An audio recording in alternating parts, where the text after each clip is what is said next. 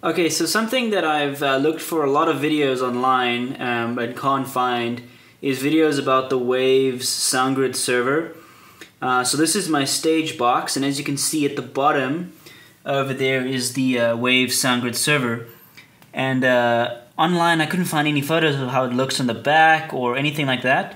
So here I'm gonna I'm gonna overlay some photos of the front and the back and the sides and then I actually took mine apart, and you can see inside it's just a uh, it's just a gigabyte motherboard and a 400 watt power supply, and a um, an Intel desktop uh, NIC. Uh, that's basically all that makes up that box. Um, just to show you a little bit more about my setup, uh, we are running two uh, IOXs, um, which are the units in the middle, and the Wave SoundGrid Server 1 on the bottom.